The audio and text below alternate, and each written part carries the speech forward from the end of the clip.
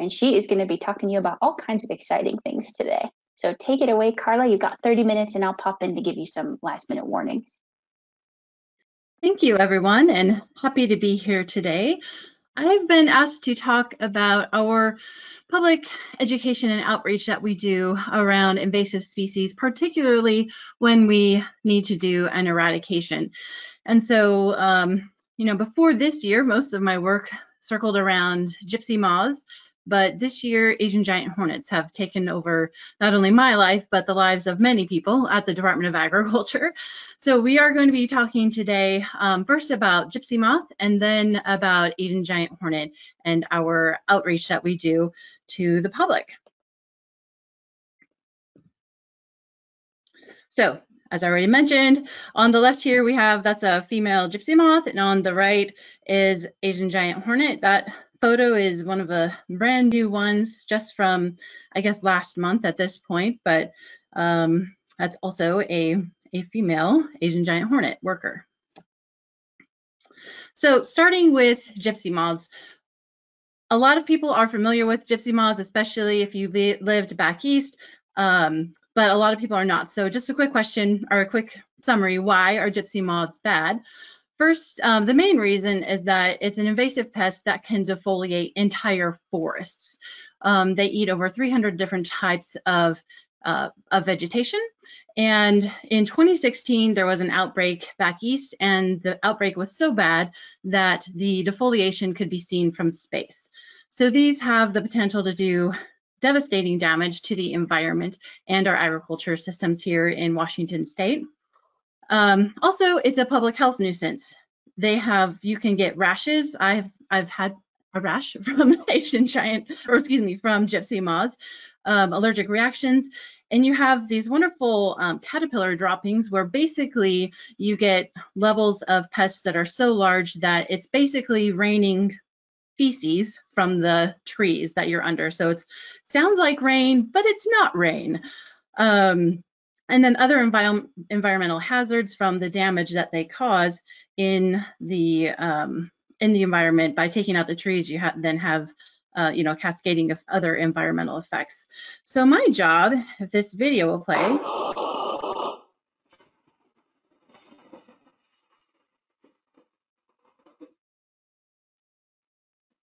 back when I was hired in 2015 to do gypsy moth outreach is to convince people, especially in Western Washington, where most of our uh, eradications take place, that having a plane flying over you, crop duster as most people like to call them, uh, we call them aerial applicators, of course, uh, spraying a, a, BTK over you in Seattle or Tacoma or Renton, Lynnwood, anywhere is actually a good idea. So as you can imagine, that's kind of a hard sell, especially here in Western Washington with people who are not familiar with that um, type of thing.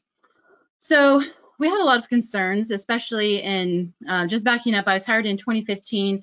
We were going to be doing a large eradication in 2018, excuse me, 2016, where we would be treating over 10,000 acres, which included a very large area in Tacoma and also Seattle. So um, we had a big uh, job ahead of us to try and um, get this eradication to go through.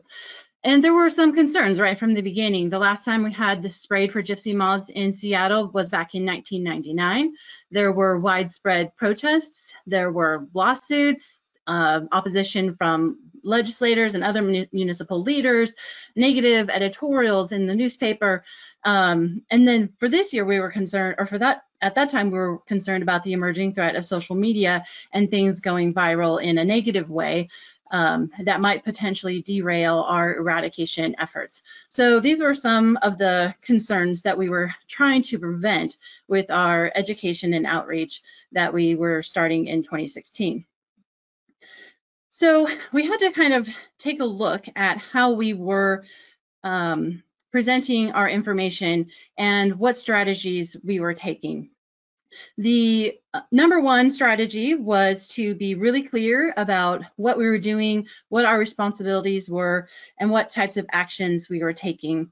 Um, making sure that messages were coordinated between um, not only WSDA, but as Justin just mentioned, a lot of the partners, for example, on the Invasive Species Council are also, you know, very supportive of trying to manage gypsy moths in Washington state. And so making sure that we were all speaking from the same, uh, singing from the same song, same song sheet as it, as it is. Also, um, and this was a new one, using social media. Um, that's new, obviously, and but still using old methods of news media and working with our employees, that kind of thing. Keeping our stakeholders up to date, and of course, responding quickly to requests for information and misinformation. so um, when I started, there was sort of a plan. There was an existing method in place, I'll put it that way, that they'd been doing for the agency had been doing for several years.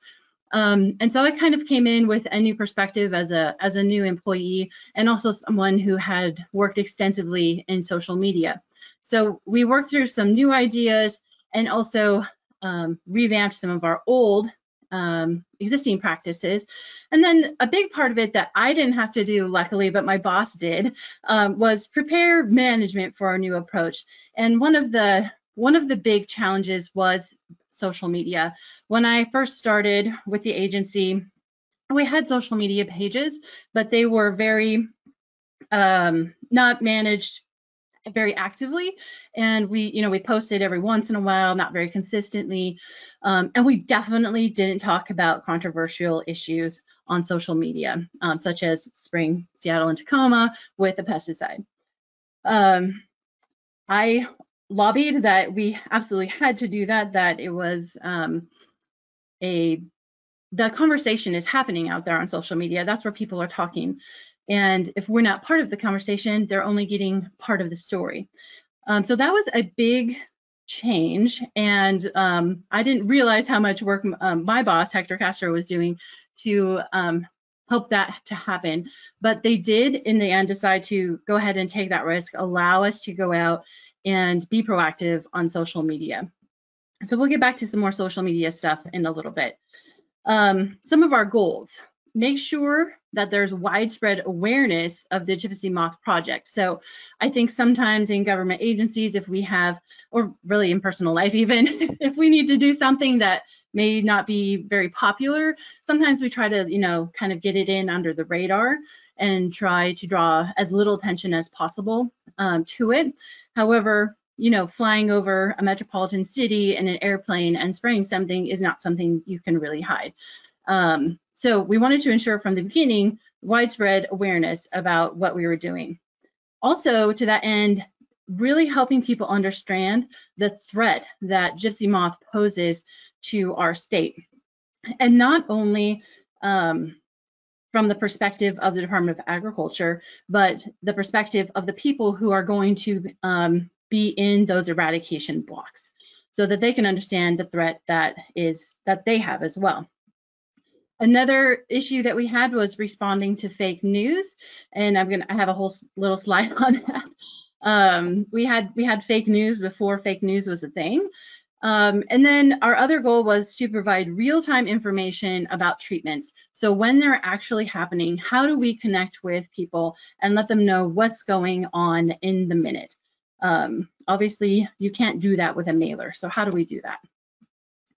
I want to talk in, in a little bit more depth about your audience and speaking to your audience. When I first um, got there, some of the messaging, and it's not bad messaging, it's just it had a different focus of talking about the potential impact to agriculture, which is important, but it's not so important to people in Seattle that are going to be sprayed with a pesticide. Um, so we had to take a step back and say, why do these people care? Why do people in Seattle care?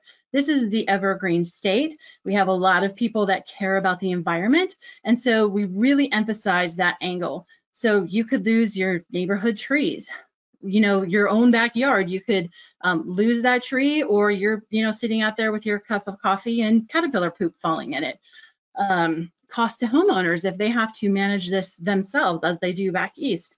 Again, talking about that human health impact of caterpillars, where a lot of people are actually directly allergic and have human health impacts from the caterpillars themselves and then risk to the environment on a larger scale from your local parks to state parks and our, our national parks that we have here in Washington state that we're so proud of.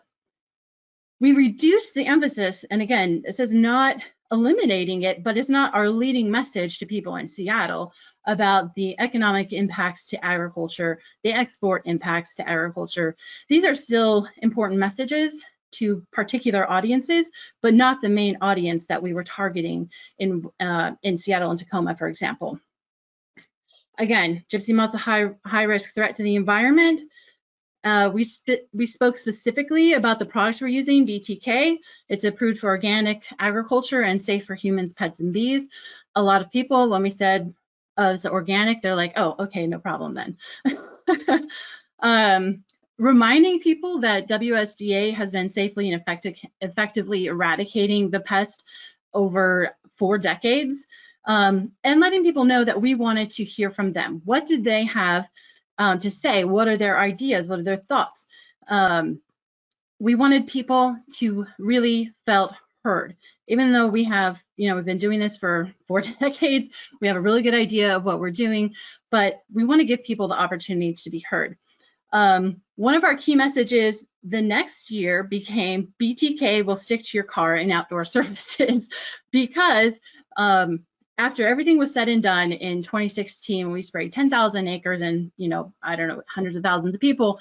The number one complaint is that we didn't tell people that BTK was going to um, stick to their car and they'd have to wash their car. So now that's part of our key messaging that, that people should know.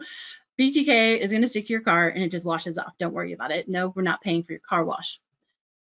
Some of the outreach that we do with uh, Gypsy Moth, we do, you know, the traditional outreach. We do press, uh, press, press releases. We have an updated website that has uh, is more user friendly and people can find basically anything that they need. We conduct meetings with government and other official stakeholders, and we hold open houses. Um, In-person open houses are extremely poorly attended. It doesn't seem like it's worth the time, but when people push back when it come when you come to actually spraying and you can say you were invited to an open house in your community where you could learn about this project and tell us your thoughts. Um, and that opportunity was there to have that input before the eradication actually happened. It cuts through a lot of issues that that we've had. So we continue to do them in person, even though they're they're never well attended. Um, but we also did some new types of outreach. One, we started sending postcards. In the past, we had sent, you know, typical government letters, looks like a bulk mailing. Most people like me throw them in the trash before even opening them. It's clearly just a bulk thing. Um, so we changed that. There's no envelope to open. They're brightly colored. They're hopefully will catch your attention at least. You might take a look at it before you toss it in the trash. Um, they seem to have been very effective. In 2016, we did five separate mailings to over 38,000 addresses, um, and people did read them. They would call us. We would get, you know, bumps and calls and emails and questions when our postcards would go out. Also, this was definitely new. we started using um, some friendly graphics to help explain um, Asian giant hornet, excuse me, gypsy moth. I have Asian giant hornet on the brain if you can't tell. But um, so we have our 13 reasons to unfriend the gypsy moth infographic. And that was also incorporated into a new educational video that we did. Um, when I started, they had an educational video, but it's from 1992.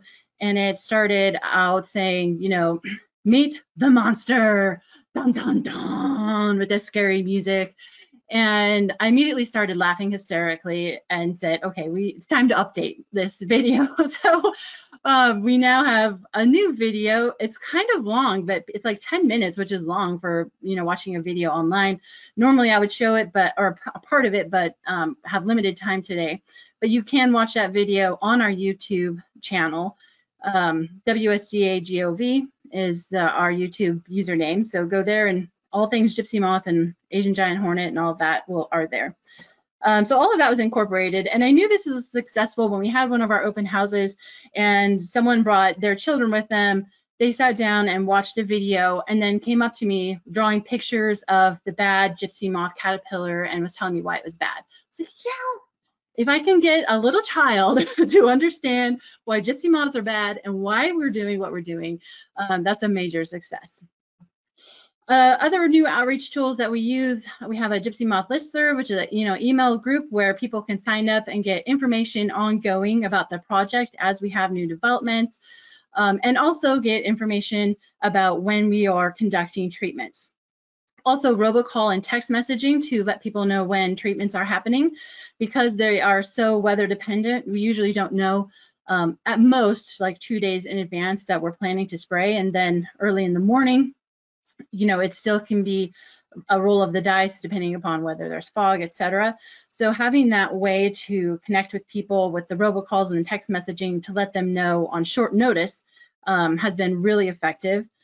We also do virtual open houses, just like this meeting that we're having today. For people that couldn't make an in-person open house, we basically have the same thing available online. And those have been really popular and by far our most well-attended open house because you know hundreds of people have viewed it by the time that um, eradications actually take place compared to you know maybe a dozen people that show up for our in-person open houses. A new thing that we've started doing is an eradication Facebook group, and this is a limited duration Facebook group that people can join and get notifications about um, what's happening with the gypsy moth project, as well as uh, when treatments are happening.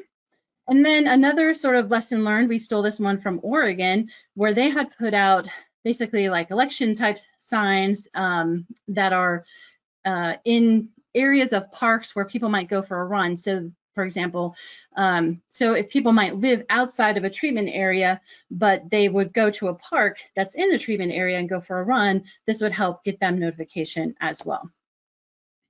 So I said I was going to talk more about social media. Um, I'm all about the social media when it comes to communicating with the public. And it was a scary proposition for the agency to go out and say on social media that we are planning to spray Seattle and Tacoma with a pesticide, and here's why. But we did it. Some of the things that we did, um, we started some proactive stuff. So we had hashtag Gypsy Moth Monday, where every Monday we would put out just little bite-sized pieces of information about gypsy moths. Um, we did blogs. We had, again, our Facebook group info where we were pushing information. And then we had a lot of responsive work that um, my boss didn't know I was doing, I think, until right up to eradication.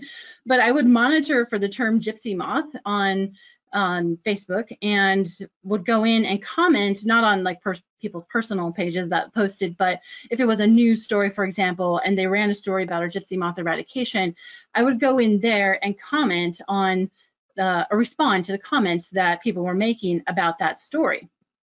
This was really useful because, as you can imagine, especially at that time, not a lot of people were following the Washington State Department of Agriculture Facebook page. So their chances of them seeing what we posted was um, not good, fairly minimal, even though we did some paid promotion.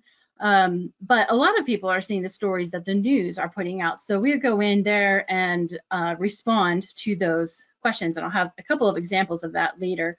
Um, we'd like and share positive posts that, that we saw about our project. There are people that um, were very supportive, especially people who have lived with gypsy moth in other areas of the country. Um, so helping to, so kind of like and boost their post is really beneficial. And then actually responding to people who have genuine questions or criticism of the potential product, um, project. And then again, we were using the real-time Twitter and Facebook updates. I mentioned the fake news before. um, so our approach was going along swimmingly. We're doing, you know, really well for uh, what we would expect on, on social media with getting the news out there, getting some pushback, but responding to that proactively. And then um, something happened. um, Natural News, which has millions of followers, put out a story that we were going to spray Seattle with a GMO pesticide. This caused all hell to break loose, and my life became miserable for a couple of weeks. um, my own friends who um, were posting this story on social media. And I'm like, come on, I've been talking about this for months. Don't you know? You can ask me about this. Um, so our initial approach was just to ignore it because it didn't initially come from natural news but once natural news picked it up then it just went viral so we ended up um, I couldn't type the same response about a you know a million times responding to people's questions or posts about this um, fake news. Uh, so we ended up doing a blog post, and then I could just um, respond with a link. You know, this is inaccurate. Here's a link to our blog with more information um, about this story. So that seemed to be pretty effective, and it definitely died down after that. But it was something that we hadn't anticipated and was not um, very much fun to deal with. So I have a lot of these examples, but I cut them down for this presentation because I know I don't have a lot of time. So John Robbins says, so turn chickens loose and let them eat them. That's way more healthy. Monsanto's killing us and the planet. Wake up, people. So we responded and said, Hi, John. Unfortunately, gypsy moth caterpillars are most frequently found in trees, often at the very tops. This is well out of the range of a chicken. Chicken. This is not a Monsanto product. Learn more at our website. Always direct people back to our website with lots of information. And then John says, how do they get to the treetops? They can't fly there. So I, contra I usually have like a one response limit, but I responded again, said, uh, hi again, John. Actually, gypsy moth caterpillars crawl up and down trees quite easily. We certainly understand your concern about not dumping poison, which is one of the reasons why we chose BTK. BTK is a naturally occurring soil bacteria, which doesn't pose a threat to humans, pets, birds, bees, or fish.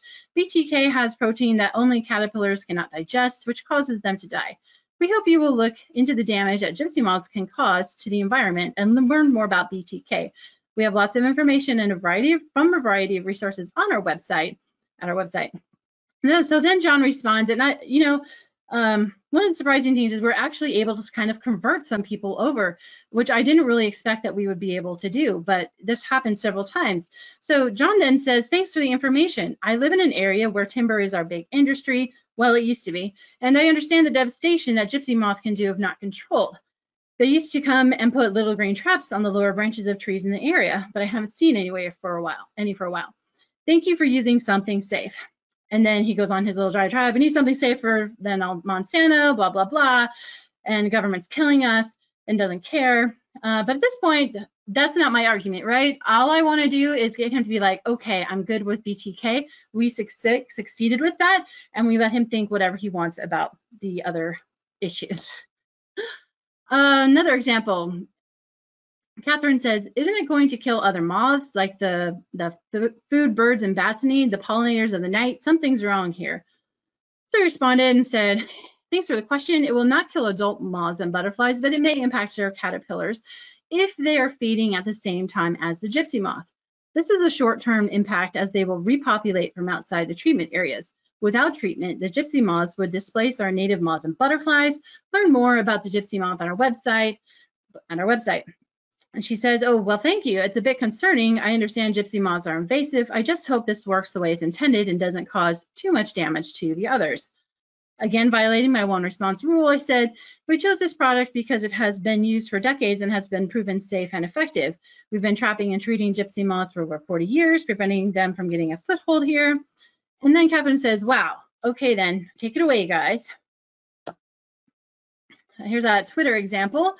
So this was after we started treating in Seattle, and Alyssa says, did not know they would be spraying for gypsy moths this morning. Woke up thinking a plane was about to crash into the room.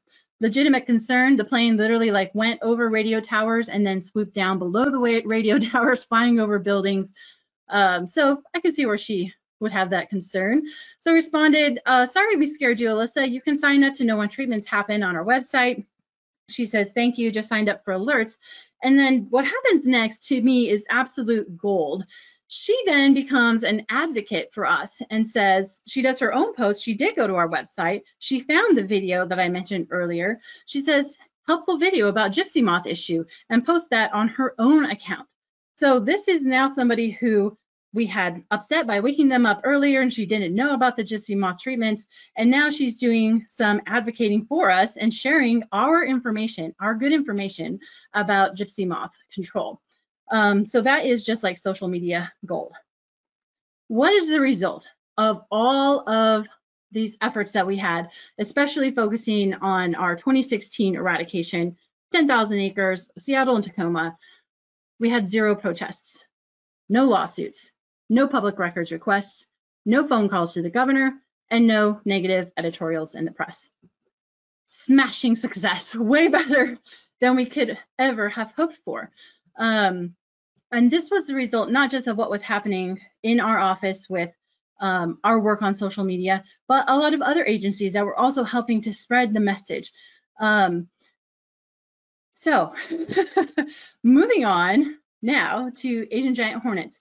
With Asian giant hornets, we have we had basically our gypsy moth playbook that we've been doing for a few years now and tweaking and making, you know, as things change and adapting it to improve it, make it a little bit better. But when Asian giant hornets came out, you know, this is the first introduction in the United States. We said, okay, we've got a basic playbook to go with, go um, work from, but let's take a step back what else can we do? How do we have to address this differently? So we came up with um, a very similar game plan, but with you know some slight differences. So again, let's talk about briefly, if you haven't heard of the Asian giant hornet, or as we don't call it, the murder hornet, um, you're about to learn a tiny bit about it, but I'm sure that pretty much everybody has heard about it. Um, so Asian giant hornets are apex predators. And the one of the big threats they have is that they can wipe out honeybee colonies within a few hours. So just a handful of Asian giant hornets can wipe out, you know, 30,000 plus honeybees in a matter of hours. Obviously, that's a huge risk, not only to our apiary and honey industry, but to agriculture that relies so much on the honeybees for pollination. It also has a human health impact with a, a sting that is more dangerous than that of local bees and wasps. And what I don't think it's emphasized enough is that Asian giant hornets can cause damage directly to crops. So they will eat ripe fruit. So your your apples, your pears, your grapes, your berries. There's where they are up in Whatcom County. Um, obviously, there's a lot of berries. So there's also the direct damage. And then I think about the poor people that are out there harvesting ripe fruit who might upset an Asian giant hornet and then suffer from the previous bullet point and be stung, hopefully not multiple times. Karla, you've got five minutes. Thank you. So again, we had to take a look at who is our audience. And when we stepped back, you've got obviously beekeepers, farmers, and gardeners, outdoor workers. But we quickly realized really it was anybody who goes outside. Um, and one of the interesting things about this project, unlike um, Gypsy Moth, where we have to convince people that we need to do something, this was a different situation where we had to basically like hold the public back from doing their own thing. Um, we had people starting to put out bad information about um, traps and before we could get them good information on how to build their own trap, which does take some research to find out, you know, what's effective and what can reasonably done here in Washington state. Um, we had people already as early as February demanding information on how to make traps. Um, then, as I say, the hornet hits the fan in May when the New York Times story runs, uh, I think on May 2nd or so, and uses the term murder hornets. And then what became a Washington phenomenon quickly became a national and international phenomenon with dealing with the media from all over the place, which caused us to have to adapt our language because all of the information that we had out was only intended for Washingtonians, but it didn't say that. So everybody from all over the country was reporting using our reporting line, which is only meant for people in Washington state, as for an example. Um, so we had to change our language. So we made sure to target where people in Washington are supposed to report and where pe other people are supposed to report. Because of COVID-19, we have to do a lot of virtual outreach, which actually played in well to our playbook with the social media that we've been doing for quite a while. Again, we have paid targeted Facebook promotions. The Facebook group is huge. I'm going to talk about that in a second. We have a campaign that we started um, with the words that we say most frequently at the Department of Agriculture now, and that is, that is not an Asian giant hornet. so hashtag that is not an Asian giant hornet. Um, we have our website, and we have started doing virtual press conferences. I've worked here for five years. We've never done one press conference as far as I know. Now we're doing virtual press conferences regularly, and it's been a fantastic way to get information out to the media and the public. I'm going to talk about this Facebook group really quickly. Um, we have almost 7,000 members in there, and these are the people that really want to know about Asian giant hornet. So we can push information there more frequently to people who actually want to know about it. So it's really targeting our audience to people who care. Another great thing about Facebook is that um, Facebook groups is that you'll get an alert when there's a new post in a Facebook group, whereas you won't get that kind of alert just posting to our regular Facebook page. Um, one I, would love to talk about Facebook groups more. If you have questions about it, contact me. Um, but they're a really great resource I have found in working with uh, uh, targeted projects to people who are interested in a certain topic. Um, one caution is make sure you have really clear participation policies so that you can um, remove inappropriate comments when necessary. You have to be really careful, careful about that because of First Amendment rights. Uh, we had fake news again. I couldn't believe it. So first we had one fake sign that was put up uh, purportedly from the Department of Natural Resources. I was really upset because I'm like, why would the DNR put this out and not talk to me? And then we realized it was totally not a DNR thing. Somebody just put it up um, in one area of the state. And then in a total other area of the state, a few weeks later, somebody else did it again, except with our information. Um, so these signs had misinformation on them and was something that we had to do and uh, deal with. And how do we deal with it? We took the sign, we put a big fake across it and posted on our social media, letting people know that was not correct information. Another thing that's really been huge for Asian Giant Hornet is feeding the media. They are like, um, no offense to any media that's on here, but it's a little bit like dealing with a small child. I, I want it, I want it, I want it now. Um, we have very limited staff. I'm I'm the social media manager and the photographer and the videographer, and um, I work with other programs in Asian Giant Hornet. I'm also the media coordinator. Um, so there's only so much, so many hours in a day, but we it was really important to quickly get information to the media um, and giving them information that they could use, not only the media, but anybody who was watching, um, good photos, good video that they can use to help tell our story for us. Um, there's only so much reach that Department of Agriculture is going to have. Normally on our Facebook page, we have, you know, we've reached a couple hundred thousand people in a in a month. Uh, with Asian Giant Hornet, we reached 1.2 million people in a month. With the Seeds from China episode, the one post reached over 32 million people. So um, the potential reach is incredible and you only help yourself and help others by providing that good information by doing the virtual press conferences by giving them good photos and videos that they can use to help tell the story. Um, so that when they when news stories tell the story if they have visuals um, they're going to be more likely to run the story first off.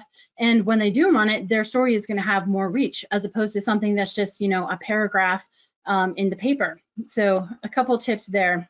Okay getting close to the end Top three tips. Share as much information as early as you can. Um, you know, be as transparent, transparent as possible and get that information out as quickly as possible. You, this is really going to help you build trust with the public that you are telling them the truth. And we even did that with Asian Giant Hornet. You know, try one and try two of tag and track the hornets back to the nest did not work. And we did press conferences on each one of those. And I can tell you, it's not easy to get up in front of the press and say, well, we tried something and it didn't work, especially when the whole world is watching you. Um, but we got so much positive feedback from people saying, um, you know, thank you for being transparent. Thank you for sharing this information. Um, next, be active and responsive on social media. I know this is a real challenge for um, especially smaller organizations, but it has such a benefit that if there's any way and by the way this is not like i hire somebody out of college to you know be the intern to you know try and boost our social media stuff you need somebody who is on it and um, knows your organization who knows how to communicate positively with the public and otherwise you can create a worse mess on your hands. Nothing against college interns. But I'm just saying this is a real skill set that can greatly benefit your agency if you start to participate in it to the level that you can. Everybody has um, different capacity, but start to engage. And that's really the key here. Engage with the public. Don't just post. If you post, people ask questions, answer the questions, um, even if it's not popular. And then my final thing is let people into your, let the public especially into your world and allow them to be part of and tell your story. So, you know, our quote unquote moon suits that we have here, our Asian giant hornet suits, hugely popular. I mean, we had people doing Halloween costumes and that kind of thing. It looks totally silly. Um, but putting that information out there and letting them see what you're actually doing lets them know you have a reason for what you're doing. You are working hard. These people are researching this and doing making educated decisions on how they do integrated pest management. Um, let let them see that. It will really benefit you in the end. People will feel invested in what um, what you are doing, like they have been, especially with Asian Giant Hornet. And just one last shout out. I know Asian Giant Hornet has sort of you know taken over the world this this year. Um, in fact, kind of funny, but after we finally got to a nest to a nest and eradicated it, eradicated it, um, we had several comments on social media that were like, well, WSDA should apparently rule the country. They're the only a government agency that gets something done. So it was, it was pretty funny, and you know, it was heartening to see those kinds of comments.